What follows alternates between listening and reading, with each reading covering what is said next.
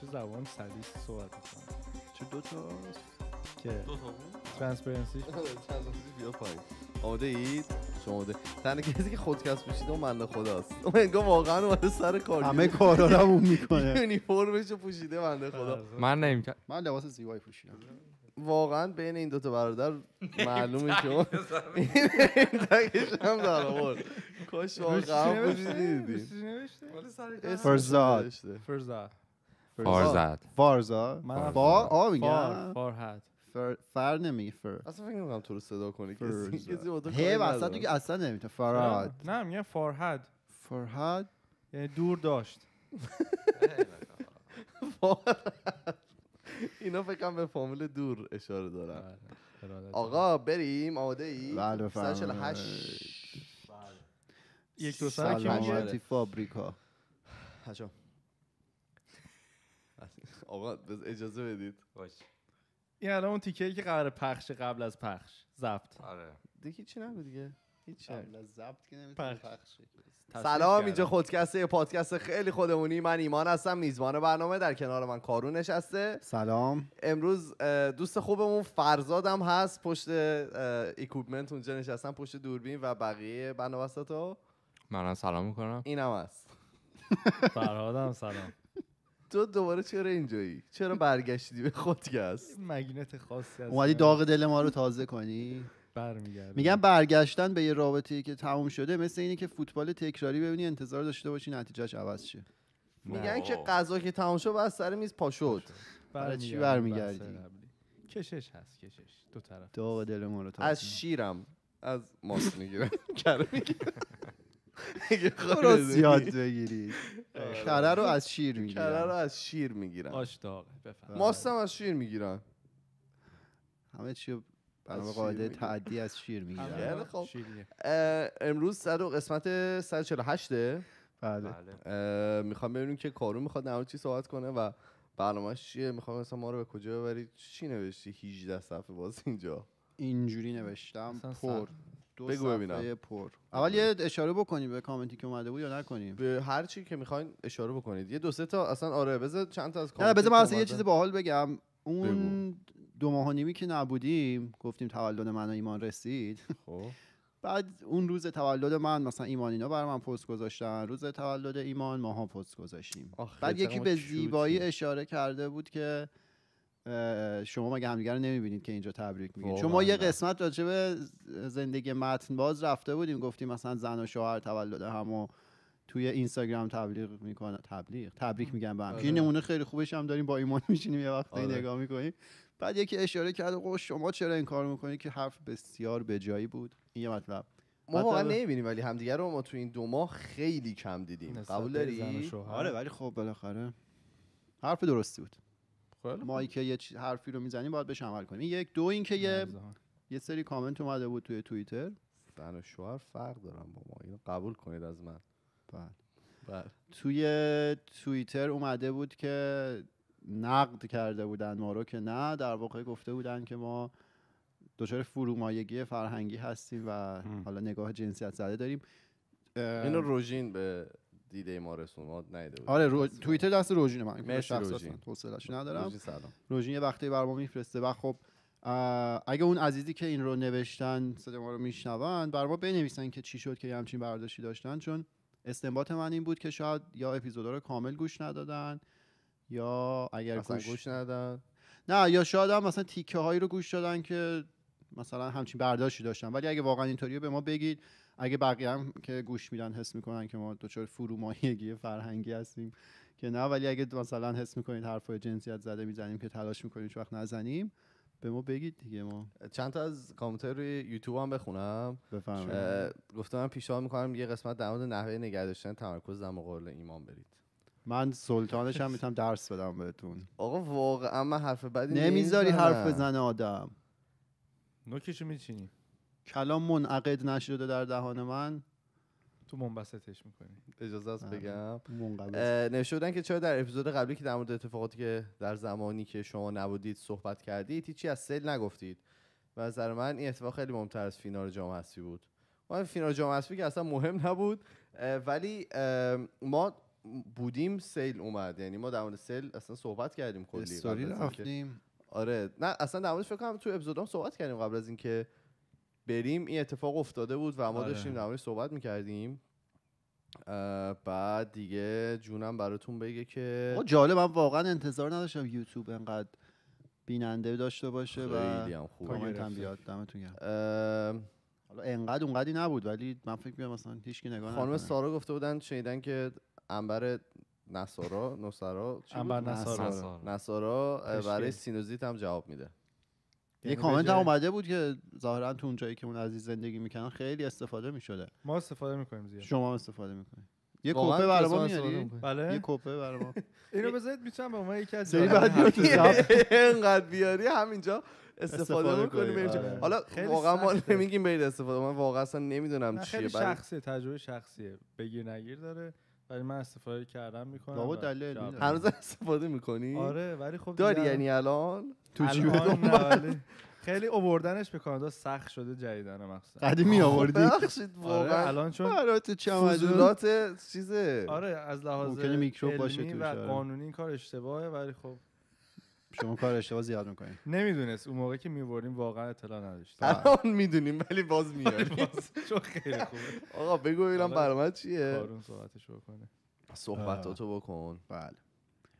امروز می‌خوام راجع به کارهایی که ما تو دهه 20 زندگیمون یعنی از حالا 20 سالگی تا 29 آره دیگه تون از اون 20 به بعد تا قبل سی مثلا انجام بدیم که بعدا حسرتش رو نخوریم. سر و صدا کن. حالا یه نقل قول بکنم یکی به زیبایی نوشته بود که زندگی رو رو به جلو میشه زندگی کرد ولی رو به عقب میشه فهمیدش. خیلی جالب گفته بود. کی گفته بود؟ یه جایی من خوندم که اینو نوشته بودن.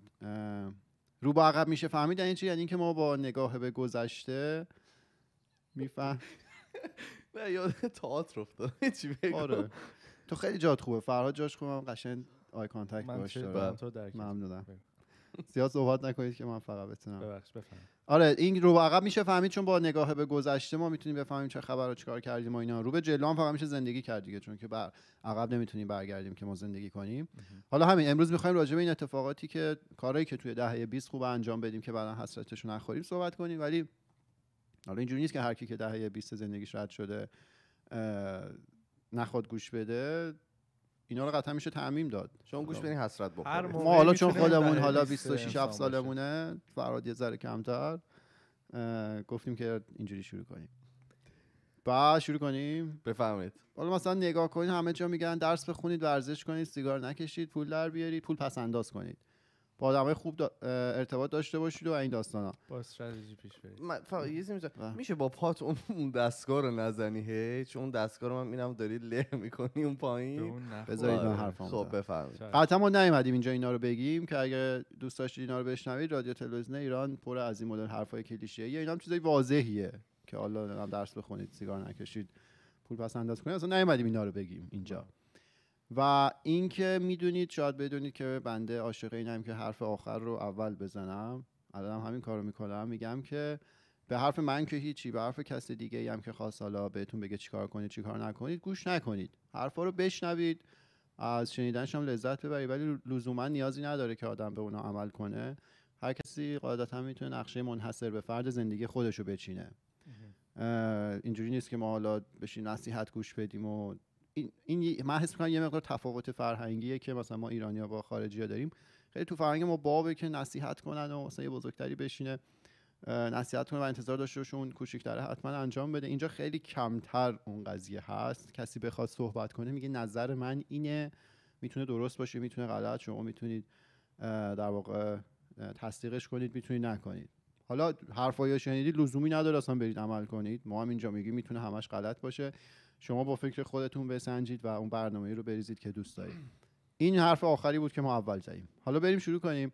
دلیل اینکه من این این مورد رو بهش اشاره کردم این بود که دو تا دو تا حالت داره به نظر من. یکی که کسی که داره باهاتون حرف می‌زنه و حرفایی که زده باور داره و داره اونا رو به شما میگه که شما اگه برید تو بهترین حالت عین اون حرف را رو انجام بدید می‌رسید به اون جایی که اون طرف هست.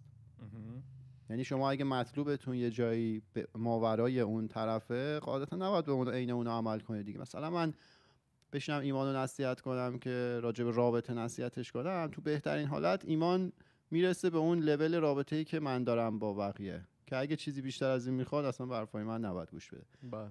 این حالت یکه. حالت دوم اینه که طرف به که می‌زنه حالا باور نداره اصلا اونا رو انجامم نمیده شخصی. که این اتفاق خیلی زیاد میفته دور برای ما مثلا همه مثلا یکی میره بالا منبر رو شروع می‌کنه. یه چیزایی گفتن که خودش هم لزوما انجام نمیده. مثلا من به ایمان شروع کنم بگم آقا آدما رو قضاوت نکن. در خودم این کار می‌کنم. که این حالت دو که خیلی دیگه واضحه چرا نباید به حرف اون آدم گوش بدیم.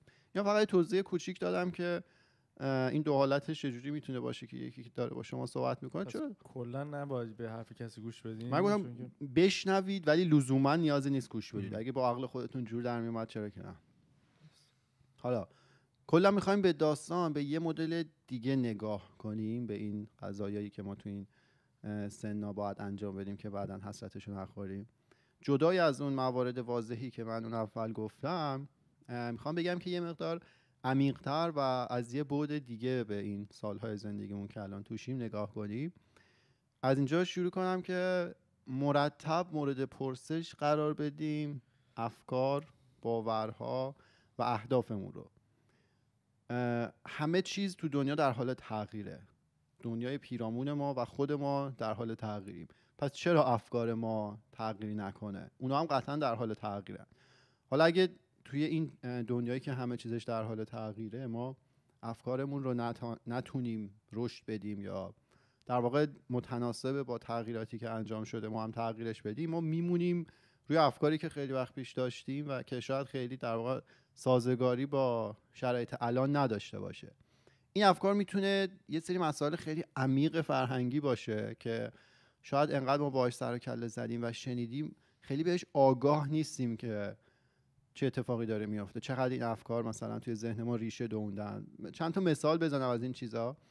مثلا لفظ ناموس که استفاده میشه شاید ما خیلی بهش آگاه نیستیم که این چه معنی ناجوری می‌تونه داشته باشه.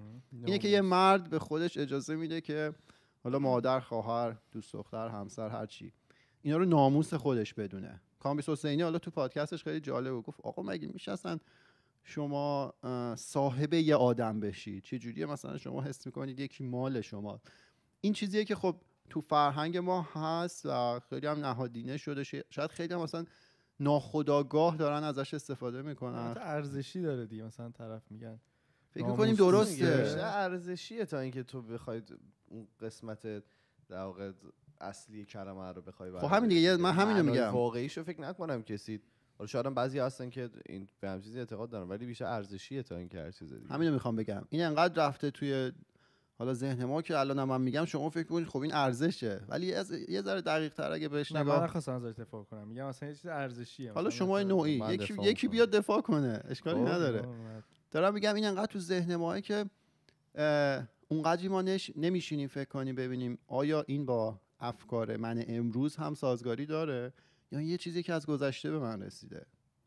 آیا نیازی هست که من همچنان مثلا با اعضای با بانوانی که توی زندگی من هستم به عنوان لفظ ناموس بهشون نگاه کنم. یا نه بالاخره هر کسی آزاده و هیچ نیازی نیست من بخوام مثلا یه مراقبت یا یه تعصب خیلی ناشیانه داشته باشم این قضیه. یا مثلا یه چیز دیگه اینو من خیلی مثلا تو پسرهای دور بر می‌بینم اینه که خب هر کسی توی رابطه ای که هست انتظار داره خیلی رابطه باز و خیلی خوبی داشته باشه و اینا همه کارم بکنه تا به ازدواج می‌رسه. به ازدواج که می‌رسه آدمات پسرا. دوست دارن برن یکی رو انتخاب کنن که مثلا قبلشون آفتاب محتاب نیده باشه. آره همینی که فرهاد میگه. حالا نه همه لزوما اینجوری نیستن ولی این خیلی رایجه. من می‌خوام بگم که اولا این تفکر که واضحه چرا اشتباه اشتباهه. به خاطر اینکه شما نمی‌تونی یه سری حق و حقوق برای خودت قائل بشی. برای طرف مقابل قائل نشی مثلا. من هر کاری دلم خواست بکنم من جوونم من نمی‌دونم فلان باید این کارا رو بکنم ولی اون طرفه نکرده باشه انتظار داری مثلا بری یه آدمی رو پیدا کنی که هیچ کاری نکرده و فکرم می‌کنی داری کار درستی رو می‌کنی. دومین چیز از لحاظ آماری اصلا این قضیه نشدنیه. این که میگن دنیا رو آباد کنی دورت و نه. شما 50 درصد جامعه زن 50 درصد جامعه مرد. اگه مردا همشون اینجوری فکر کنن که بخوان همه کار بکنن تا قبل ازدواج به زمان ازدواج برسه دیگه هیچ عضوی از اون نمونده دیگه. این اصلا نشدنیه و الان زمانی که ما باید بهش فکر کنیم که آیا این تفکراتی که از قدیم به ما رسیده اینا درسته؟ من همچنان اگه تو دنیای امروزی به اینا باور داشته باشم درسته یا نه؟ می‌تونی پیش ببری یا نه؟ بله مرسی از خب؟ نظر ندارید بدید؟ خیلی کف کردم. ببین نمی‌دونم من حالا بازم برمیگردم به اون قضیه که احساس می‌کنم حالا کسی میگه ناموس خیلی ف... معنی های مختلف می‌تونه داشته باشه. حالا دقیقا معناش نمی‌تونه این باشه. می‌تونه این نباشه که مثلا طرف و من برای منه یا مثلا جزوی از مثلا دارایی منه یه نفر. ولی می‌تونی از اون ور بهش نگاه بکنی که خب من برای این طرف مثلا ارزش زیادی قائلم برای مثلا آدم مورد اهمیتیه. حالا نمی‌دونم دقیقا نمی‌دونم ارزش معنای از اون طرف هم هست یا نه؟ مثلا زنا میگن این پسر یا این شوهرمون ناموس ماه پس ما نه دیگه نمیگم. نمیگن یا نمی‌دونیم ما.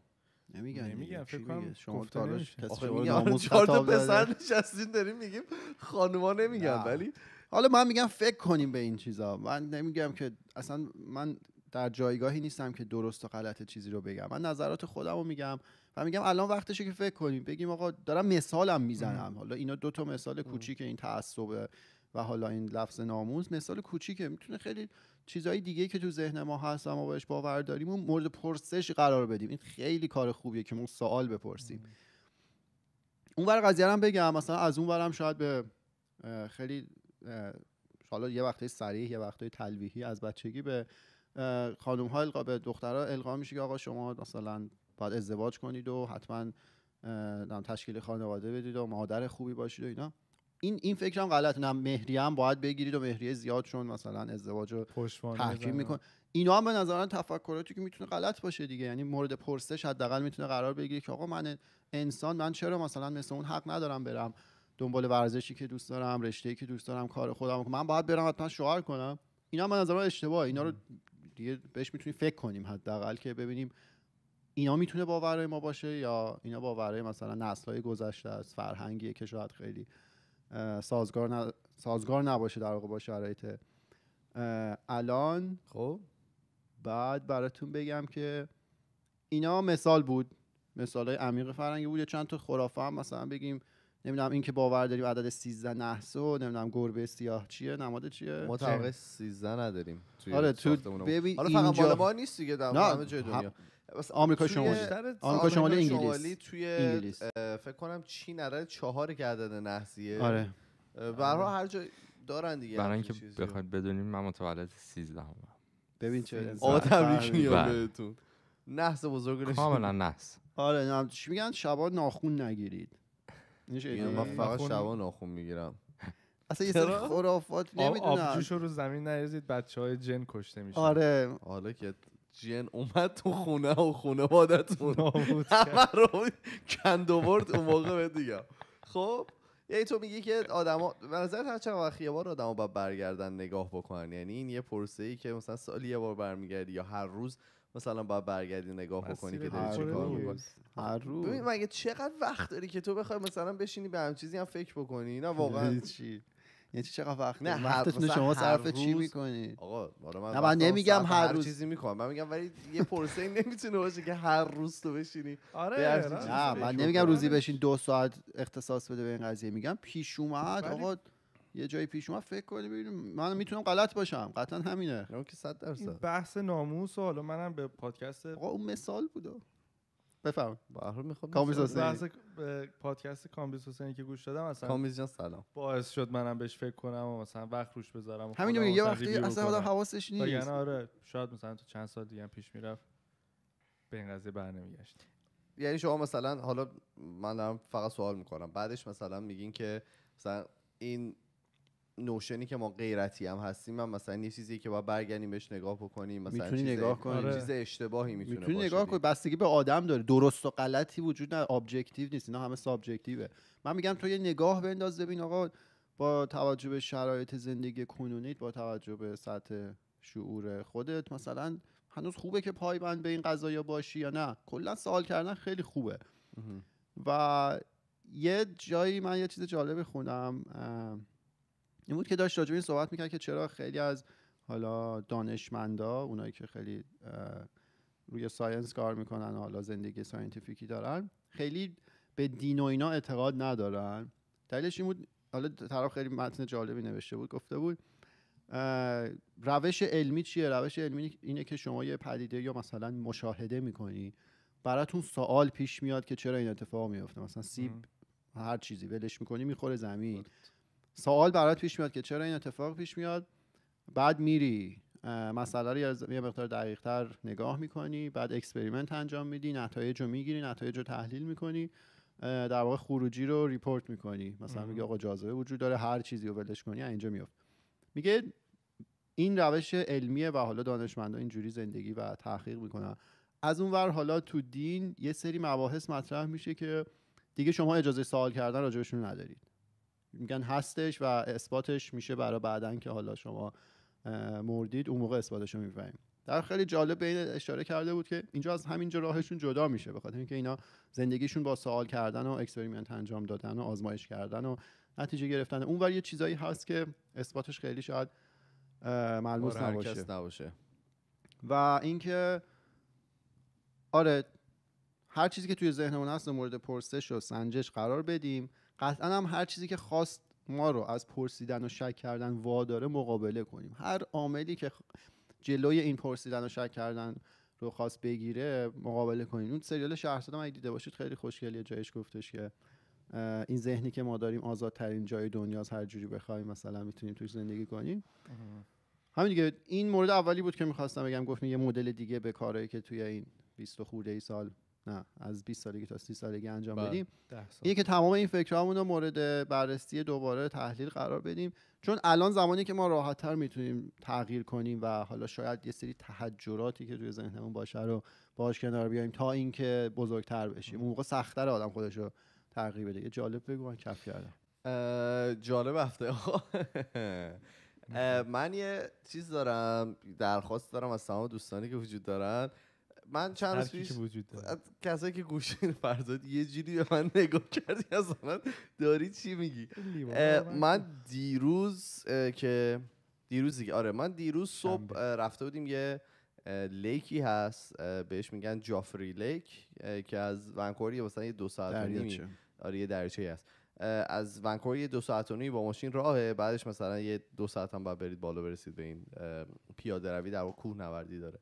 که برسید به دریاچه. این دریچه و حالا من توی راه که داشتم می‌رفتم یه عده از دوستان ایرانی بودن که من اینا رو رد کردم مثلا ازشون جلو زدم رفتم در واقع رسیدم به لیکه به دریچه موقعی که داشتم برمیگشتم من با این دوستان روبرو شدم و مثلا ایشون برایش من گفت اه سلام. و منم توی ناخدا گفتم سلام. و از هم دیگه رد شدیم دیگه هیچ صحبتی به وجود نیومد. ایشون صد درصد من شناخت ولی من ایشون رو اصلا نشناختم. فقط با سلام. اگر آره یعنی اگر که مثلا جای دیگه خیلی برام اتفاق میفته که مثلا من یکی مثلا به من سلام می‌کنه من نشناسمش من می‌فهمم مثلا معروفی. فوتبال بازی می‌کنیم. انقدر مثلا ذهن من تاریخ مصرفش گذشته. برای همین اگر که کسایی که توی این جافری لیک بودن کسایی رو می‌شناسن که روز یک شنبه نه شنبه رفته بودن بین ساعت مثلا ده تا ده صبح تا دو بعد از ظهر رفته بودن و اینا می‌شناسن می‌کنی پیدا جانم سایتی هست حالا کریجلیست که همه ما می‌دونیم نه کسی نه کسی ما ما چهار. نفر می‌دونیم یه سایتیه که همه چیز خرید و فروش میشه هر درخواستی داشته باشید مثل دیوار. آره مثل دیوار آره. کسی نیاز به کمک داشته باشه همه کاری توش رد و بدل می‌تونید بکنید بعد بله. یه قسمتی داره missed connections هست اسمش که هر. شهر و هر town ی به قولی داره برای خودش. حالا ایمانم می‌تونه اونجا بره بنویسه که فلانی من تو رو روز شنبه اونجا دیدم. اینا اطلاعات منه با هم تماس من تو بگیر. رو آره، خلاصه این بنده خدا رو اگر که کسی دید نه ولی یه چیزی هست که بر و اساس- می‌دونم و بچه های یو بی سی هم بودن چون که همشون چیزای UBC پوشیده بودن خب این راحت یعنی- تر شد. خب، محدوده گشت ما شد. راحت و داشتم من داشتم رد می شدم داشتن در مورد اینکه یکی تازه اومده و اون lab چقدر قشنگه اون laboratory ای که هستن چقدر مبارکش آره آزمایشگاه چقدر. جالب و اینا داشتن صحبت می‌کردن که دیگه متاسفانه. یه چیزی. هست که بر اساس location می‌تونی چت کنی chat map map chat من یه من از این چیزا اطلاع ندارم. من یه چیزی دیدم Snapchat نه نه نه نه. همین یا مپ چت یا چت مپ یاهو مسنجر یه چیزی دیدم اونایی که تو ترافیک شمال گیر کرده بودن. با هم صحبت می‌کردن. مخ می‌زدن. اونجا. خب، بعد یکیشون نوشته بود بابا 200 شیشه فلان 200 شیشه مثلا سفید که جلو مثلا اون جایی داری فلان کارو می‌کنی. ما داریم میبین خیلی خنده بود. اگه همچین چیزی باشه واقعا همونجا شما اپو وا می‌کردی و صحبت آره. و اینکه حالا نمی‌دونم شما کلا شخصا چجوری با همچین چیزی کنار میارین معمولا اگه مثلا یکی از کنارتون رد شه سلام گرمی بکنه وای میسید مثلا ببینید حالا که طرف من شخصا شد با همه سلام می‌کنم دیدین خب نه. حالا آره ولی. مثلا یکی به شما سلام کنه وای میسی باش صحبت می‌کنی و یعنی می‌خوام بدم این احت- مشکل منه ها اتفاق احساس می‌کنه یعنی من باید وایسم مثلا با طرف گرم بگیرم صحبت؟ کنم من فکر ببینم- می‌کنم مشکل شماست و- تو بودی نباید صحبت با- می‌کردی نه سلام آها، رد. می‌شدی آره، می‌رفتی؟ آره یعنی خب پس مشکل من نیست من کار درست آره. سالمی ما من احساس آره، می‌کنم آره. که باید تو چی کارون تو معمولا وای میسی سلام ببینی من می‌شناسم من تا یکی. ببینم یادم میاد شناسنامه‌شو خب می‌دونی اصلا اگه که یه درصد اگه من دیده باشم تو زندگیم- بود چی اگه مثلا خودکست شما رو میشناخت خب دیگه من میپرسیدم دیگه ها یعنی تو مثلا که سلام می‌کرد می‌پرسی شاید بستگی به اون موقع. شاید اون؟ خیلی بی‌حوصله‌ام رد شم ولی آخه من اینو میگم چون ما خودمونم دیروز رفته بودیم پارک بعد من یه دسته. ایرانی آره یه. دسته ایرانی تو برگشت دیدم و همینطوری سلام کردم اصلا سلام. نمیشناختن شاید نمی‌شناختم. گرم آره، چون ایرانی بودن مردم نه آخه اینجوری که گفت اه سلام. مثلا این بود که داشته شاید دنبالت قبل. مثلا دم پارکینگ دیدتتون بعد. شاید. دنبالت سلام. مثلا آره. خیلی خب من جالب افتادم اگر که کسی می‌شناسه این دوستانو میریم دنبالش. لطفا به من بگی دیگه. روز شنبه بین ده صبح تا دو بعد از ظهر Joffre Lake تو missed connection بزن. آره. یه لحظه این لیوان آب من کجاست تا سر بحث اصلا اه، نمی‌دونم واقعا. آها. آها می‌دونی کجاست؟ خوب بگو. نه خب فرزاد برش بریم ادامه بدیم. اگر که اجازه بدید. بعد یه چیزی که حالا تو این زمان ها خیلی کمک می‌کنه به ما تو این ده سال اینه که مطالعه کردن اون حالات همیشه کمک می‌کنه. میگن دیگه هرچی دستتون می‌رسه بخونید تا جایی که می- میتونیدم بخونید. من یه چیز جا- جالبی دیدم. یکی سال پرسیده بود که کتابای مورد علاقتون چیه؟ جاستین ترودو اومده بود جواب داده بود خودش به شخصه. تو سایت کورا. 18 هزار تا آپوت خورده بود. خود جاستین ترودو اومده بود نوشته بود. بعد ملت کامنت گذاشته بودن که حالا خیلی دو دستن آدمای کانادا. یه سری خیلی خوششون میاد از این آدم یه سری خیلی بعدشون میاد. آره. بعد کتابایی که گفته بود ظاهرا یه سری خیلی خوششون اومده بود. بعد طرف گفت من افتخار می‌کنم مثلا تو نخست وزیر مایی خلاصه کتاب بخونیم تو این دوره. خب. بعد آها یکی گفته بود که شما توی این دهه باید هویت خودتون رو بشناسید و بفهمید هدف از وجود شما چیه. خیلی سوال سختی تو 20 سال اینو من خود آفرین همین می‌خوام بگم. من خیلی رو شک دارم چون به شخص اصلا نزدیک نیستم به دونستن اینکه هدف از وجود من یکی تو دنیا چیه. اصلا نظرم من تا آخرین لحظه زندگیتونم به نظرم بعید بدونم بفهمم. آره پس شما این مشکل داری. آخه خیلی سوال چیزی هر روز می‌تونه یه. معنی متفاوت داشته من دارم مثلا من. خودم با 21 سالگی مقایسه می‌کنم واقعا آدم احمقی بودم الان مثلا خودم با 30 سالم بشه الان مقایسه کنم 100 درصد به 30 سالگی ما آدم احمقی ام خب آره، ولی همین. خودش لطفا اون کسایی که این دهه رو گذروندن به ما بگن که اصلا شدنیه که ما بفهمیم برای چی وجود داریم یا شما شما من میگم نه دیگه برو بعدی جوابش رو خب نمی‌دونید بعد وقتی که بفهمیم برای چی وجود داریم به چه مرحله مرحله بعدی چیه یعنی چرا شما باید حالا به این بفهم؟ بعد بیا من بهت میگم بعدش نه میگم یعنی حالا. الزاما به اون جواب برسیم مثل این نه میگم یه جا نوشته میگم من که خیلی به این قضیه شک دارم و اصلا نزدیک. نیستم که بدونم چرا من به وجود اومدم خیلی برام سواله خب دیگه چیکار این این؟ از همش مهمتره حتی مورد اول که فکر کنیم مورد پرسش قرار بدیم خودمون ها. این یه دونه هم خیلی مهمه باید حداقل توی یه مهارت یا حرفه ما خیلی ماهر باشیم خیلی خوب باشیم مهم. 20 سالگی تو این دهه دیگه. یعنی در واقع شروع کنیم به سرمایه گذاری کردن روی خودمون. یکی مربی رقص میشه یکی طراح داخلیه یکی گرافیک دیزاینره یکی مثل فرهاد با حیوانات سر و کله می‌زنه. تو یه مهارتی ما خیلی باید خوب باشیم و در واقع سرمایه گذاری کنیم. چون بالاخره نیاز داریم از اون قضیه بالاخره پول در بیاریم. بکنیم. پول در بیاریم و در واقع کانتریبیوت کنیم به دنیا. چی میگن؟ پس بدیم. پس بدیم نه. یه مشارکتی داشته. باشیم. یه بالاخره مفید باشه آره آفرین مفید باشیم.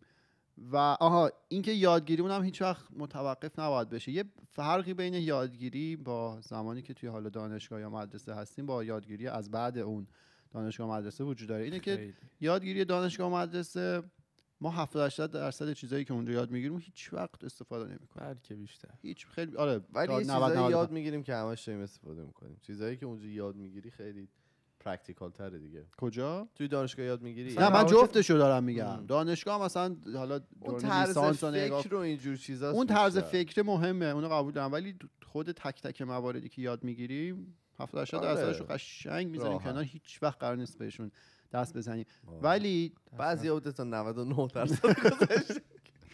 ولی فرقی که داره از اینجا از بعد حالا مدرسه و دانشگاه اینه که چیزایی که یاد بگیریم در واقع خودمون رفتیم دنبالش چیزایی بوده که دوست داشتیم و چیزایی بوده که برای مفید بوده. مثلا الان مثلا بحث ماشین بشوریم؟ الان نه مثلا بحث. وب دیولپمنت و اینا خیلی داغه. چون یکی چون رشتهش مثلا ربطی هم نداره.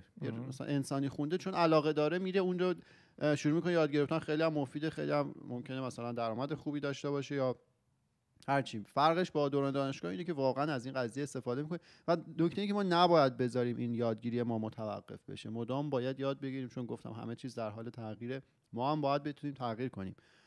که اگه نکنیم عقب میمونیم. با حسرت خب بعد بار آها. کارهای ناتموممون رو سعی کنیم تموم کنیم. مثلا اگه مدت. سخت من تازه دارم کارهای ناتمام کار رو شروع. می‌کنم آره مثلا اگه بذارم موقعی که وقتم. آزاد شد تمام کنم اگه مدت ها تصمیم گرفتیم مثلا زبان بخونیم بریم امتحان آیل سافل بدیم اینو بریم واقعا انجام بدیم تموم شه چون این میگم باری که روی دوش آدم هست اصلا فکری آدم رو خسته می‌کنه یه وقتایی دیدی انقدر کار داری نمی‌دونی کدوم کار رو باید انجام بدی دراز می‌کشی و مثلا میخوابی همین کار ناتمام روی هم. تلنبار بشه الان- مشکل رو داره. الان من یه کار ناتمام داشتم نزدیک 6 ماه بود. الان تمامش کردی؟ دیگه فرستادم رفت. چی بود؟ تبریک میگم. برای معافیت پزشکی اقدام کردم. تو چی خیلی؟ هم سالمی. عدم آره. تسلط به اعصاب؟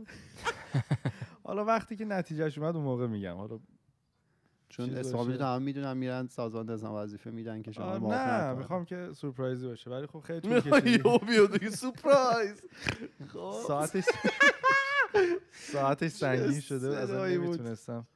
من تمامش تو کنم. اشکال نداره. خب بعدی؟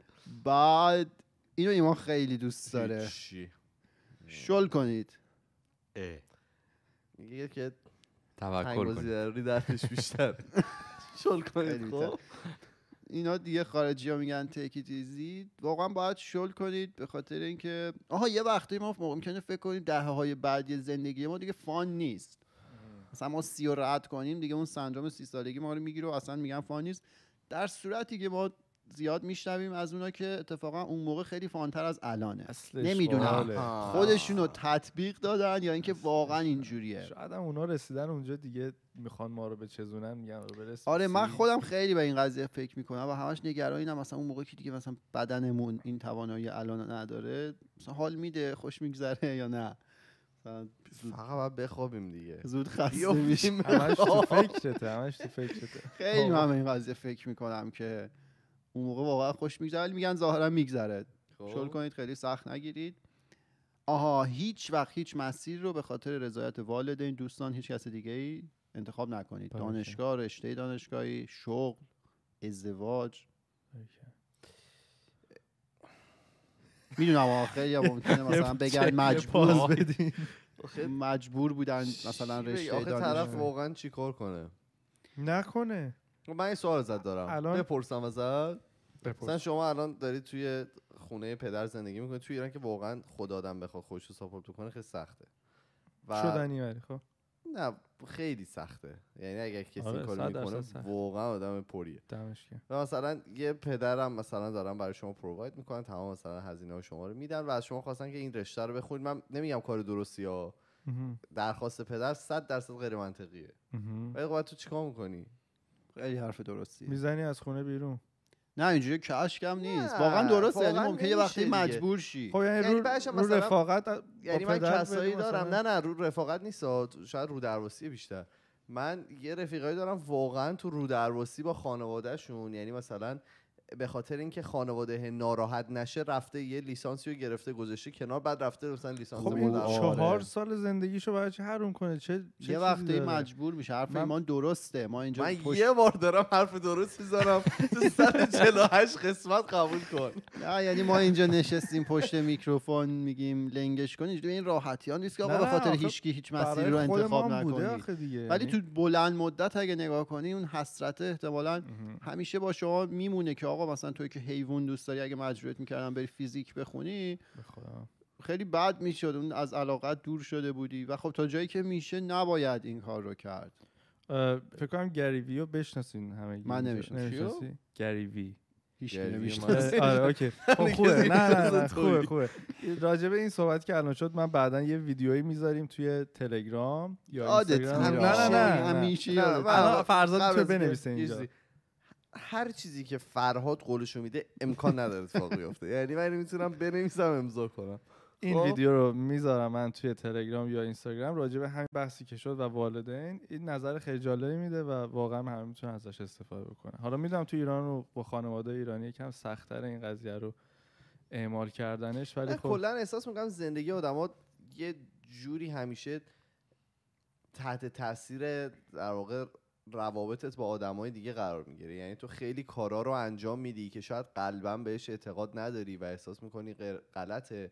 ولی به خاطر مثلا یه سری از روابط اون را- رابطه خیلی بیشتر برای تو میارزه تا چیزای دیگه. یعنی که خیلی تا آخر عمرتون نه نه حالا تا آخر عمرت نه. ولی خب مثلا شاید یه چند سالی از زندگی تو مثلا تحت شعا قرار بده اون رابطه. خیلی بیشتر چند سال می‌تونه باشه. آره آره میگم. ولی میگم که خیلی سخته که ما مثلا همیشه بگیم که ما اون تصمیمی رو می‌گیریم که برامون آره. مثلا مناسب تره به اصلا داستان اینه که خود اون خانواده هم از سر دلسوزیه. مثلا دوست. داره بچهش به یه جای مناسبی برسه. ولی نکته اینه که آقا آدما با هم فرق دارن.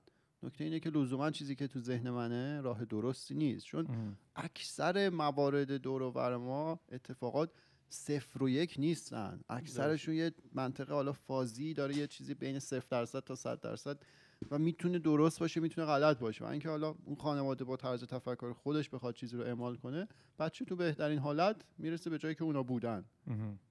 که لزوما هم جای درستی نیست رو این حساب درست. میگه که آقا شما برید دنبال کارهایی که بند خود رفت چرت بزنه خسته شدید آره،. فرزاد رفت خب بگو چی دیگه و اینکه اصلا با اصرار و تاکید میگه اگه با اصرار و تاکید می‌خوای چیزی رو حالا به دست بیاری به وجود بیاری نگه داری مثلا عشق رابطه دوستی میگه احتمالا باید ولش کنی بذاری بره. این خیلی جالبه یعنی اگر که زور می‌زنی یعنی یه جای کار مشکل داره باید آخه بعضی وقتا باید تو خب. سربالاییه باید زور بزنین تا بیفته تو سرزیری می‌دونی یعنی ماشینه رو باید بذاری پشتش بره بالا. آوردیم شما اینا رو اینجا بزنی. میگه که با یه چیزی من یادم رفت از قبل بگم. بگو از قبل بگو. نه الانم یادم نیست. دیگه کل خب پس دیگه.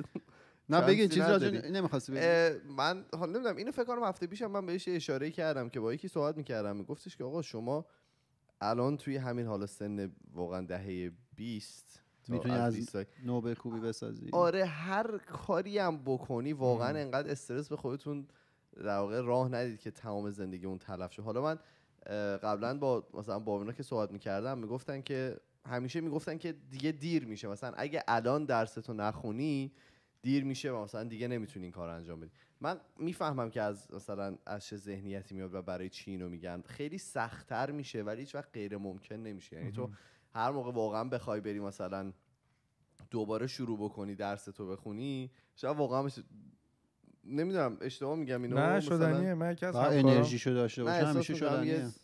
فکرت رفت جای دیگر نه. نه. نه؟ من یکی از همکارام سن 51 سالگی رفته دامپزشک شده. با چند سر عائله و خیلی هستن که الان آره واقعا الان مثلا کسایی هستن که یه آقایی هست که ما حالا باش کار می‌کنیم.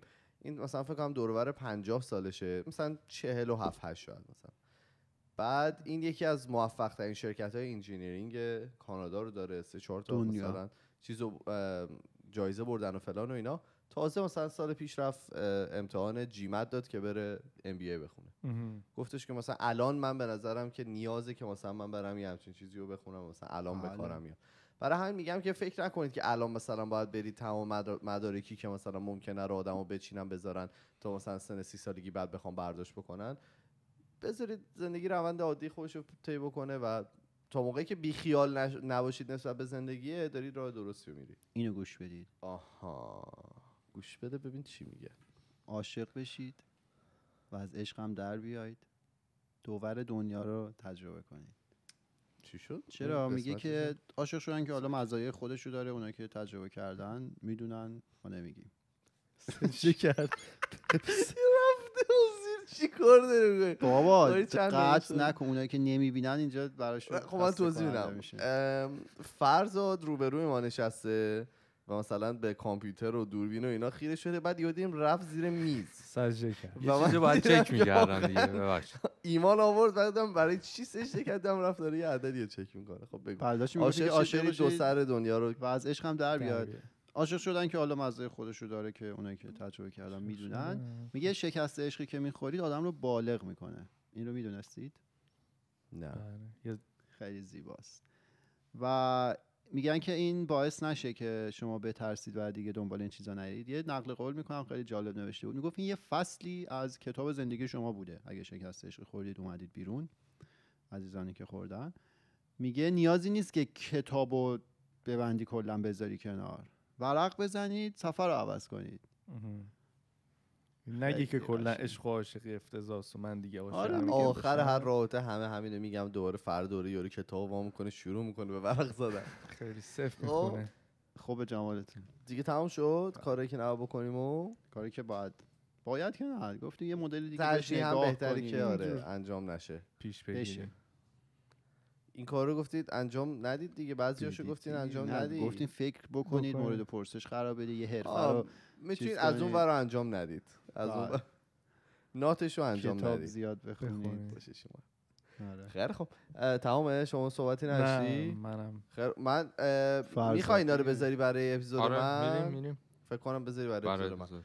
چلو اه، یک چون دقیقه خیلی- سی و پنج سی و آره. شیش خیلی خب این بود قسمت 148 اه، کارون در مورد کارهایی که باید انجام بدید بهتری که انجام بدید توی سن توی دهه 20 زندگیتون که بعدا من حسرتشو نگاه می‌کنم نخورید. دهه 20 نمی‌شد.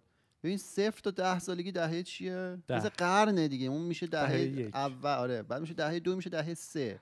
بازه 20 تا 30 سال بگیم آره. این قسمت 148 کارون در مورد بازه 20 تا 30 زندگیتون صحبت کرد که چه کارهایی بهتری که انجام بدید که بعدا حسرتشو نخورید توی زندگیتون صحبت کرد و اینکه اگر که شما نظری دارید ما توی تمام فضای مجازی اسم خودکست توی تلگرام توییتر فیسبوک اینستاگرام یوتیوب یوتیوب اه، و اینکه ما میریم و پنجشنبه با یه موضوع جدیدی دیگه برمیگردیم. فعلا خدافظ. خدافظ. خدافظ. خداحافظ او تبریک میگم بهتون.